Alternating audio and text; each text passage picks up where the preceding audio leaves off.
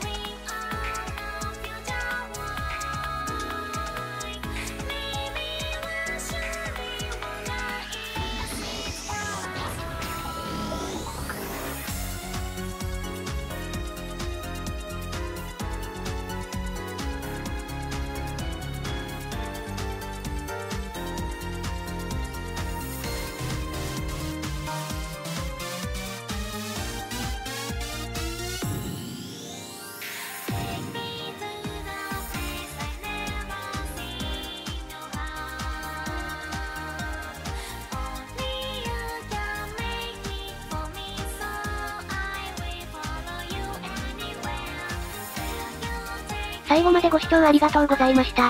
チャンネル登録と高評価、コメント、Twitter のフォロー忘れないでくれだぜ。東韓鉄道開発日記と夏祭り合作茶番もお見逃しなく。それではまた午後1時の動画でお会いしましょう。バイバイ。ある日、ゆっくりの夏祭りが開催される。そして集まる11人のゆっくり投稿者。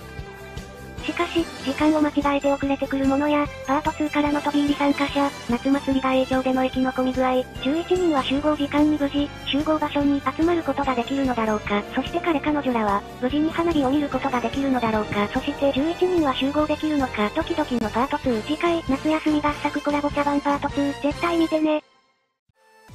ご視聴ありがとうございました。チャンネル登録お願いします。再生リストと動画のおすすめがあるのでぜひそちらもご視聴ください。ゲームのリンクや、その他いろんなのを概要欄に貼っておくので、皆さんもぜひやってみてくれだぜ。最後に、次の動画もぜひ見てくださいね。それじゃ、また次の動画でお会いしましょう。バイバイなんだぜ。